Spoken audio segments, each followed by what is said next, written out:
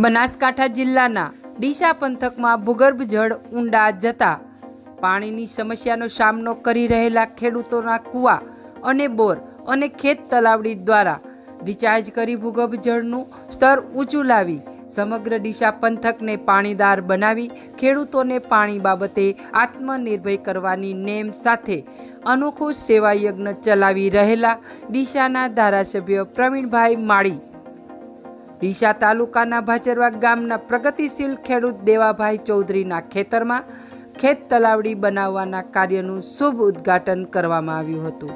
પ્રવીણભાઈ માળી જળ સ્તોત્ર ક્ષેત્રે ઊંડો અભ્યાસ ધરાવે છે અને અગાઉ પણ ડીસા તાલુકામાં અનેક ખેડૂતોને સમજાવી તેઓના ખેતરમાં ખેત તલાવડીઓ બનાવવા પ્રેરણા આપી ચૂક્યા છે. ખેડૂતો પણ તેઓના માર્ગદર્શનનું અનુસરણ કરી વધુમાં વધુ ખેત તલાવડીઓ બનાવવા પ્રેરાય છે. Bureau report Deepak Padhiyar Banaskantha. આપણે જે સીપુથી પાણી ભરવા સીપુ ડેમમાં જે લઈ જવાનું પાણી જે થરાદથી પાઇપલાઇન આવી છે એમાં તમારા ગામનો પણ તળાવ અંદર આવી ગયા છે. બરાબર? જોઈ લઈએ બીજું એક કામ આપણે કરવાના છીએ કે આ તળાવ જે છે, એની બાજુમાં આપણે એક નવો આધુનિક કુવો આધુનિક ટ્યુબવેલ બનાવવાનું છે. એનું ઓવરફ્લો પાણી પણ પાછું અંદર જાય, તળાવનું. બરાબર? આ પણ આપણે નક્કી કરીને જ આવ્યા છીએ. બરાબર? એટલે આપણે કહ્યું ટીપે ટીપું પાણી બચાઈ અંદર ઉતારવું છે. પંદરમાં બે હજાર પંદર ના સત્તર ના પૂરમાં કેટલું બધું પાણી જતું રહ્યું હતું દરિયામાં? વી પચીસ વર્ષ ચાલે ને બનાસકાંઠા એટલું પાણી હતું.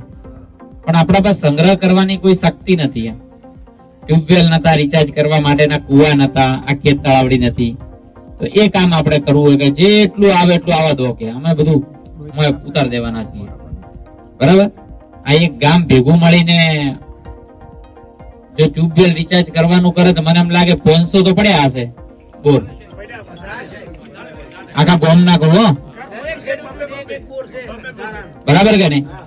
હવે જો પાંચસો જણા જો બોર રિચાર્જ કરે ને, તો આખા ભારતના લોકો જોવા હોય, આવશે કે આ ભાચરવા વાળા આવું શું